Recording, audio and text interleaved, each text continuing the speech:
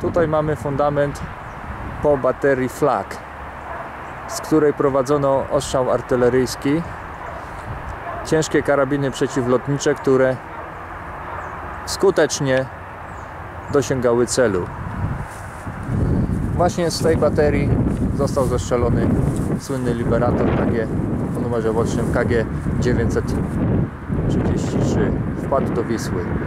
Kapitan Wright, który był pilotem, dowódcą e, statku powietrznego, y, został pochowany na cmentarzu rakowickim w Krakowie i jego grób został upamiętniony y, nagrobkiem.